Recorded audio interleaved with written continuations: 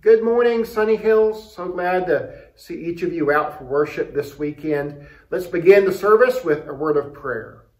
Oh God, as we've gathered in prayer, as we've gathered virtually uh, through electronic media, Lord, we're grateful for the advances of science and technology uh, that have allowed us to gather in this way. Lord, we know that intellect and skill, and precision, these are all gifts from you, and we recognize your hand in the midst of all of this.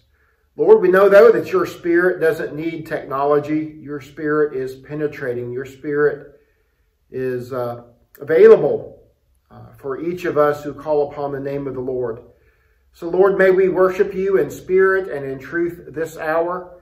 And God, we pray that you would receive our attention, receive our clicking on the screen, receive our attention to the videos and the message, receive our participation in the trivia and feedback and sharing a prayer request. Lord, all of these, we just pray that you'd receive them as an act of love from us to you. God, we love you so we've gathered to worship your name this hour. In Jesus' name, amen. So as you click through the service this morning, you'll notice that there's some opportunities for you to engage. You can play our trivia question a little later in today's service. Give us some feedback. Check in uh, with your name and email address if you'd like for us to have that, but do share a prayer request.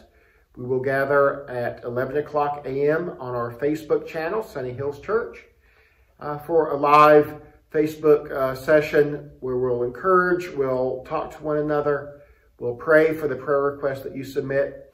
Then at the end of the service today, if you'd like to participate in an online giving experience, there's a, a link for you to do that and also for you to share some feedback about what God's doing in your life and how this service impacted you.